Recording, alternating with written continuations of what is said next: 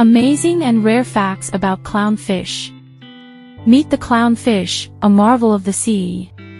Known for their vibrant, clown-like colors, they're the ocean's dazzling jesters. Did you know they change genders? Yes, they're born male, but the dominant one transforms into a female. Fascinating, isn't it?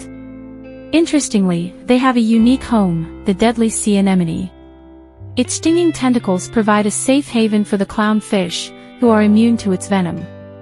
And here's a fun fact, their famous Nemo stripe pattern is actually their fingerprint.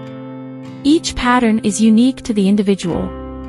Clownfish truly are a miraculous spectacle in our vast oceans.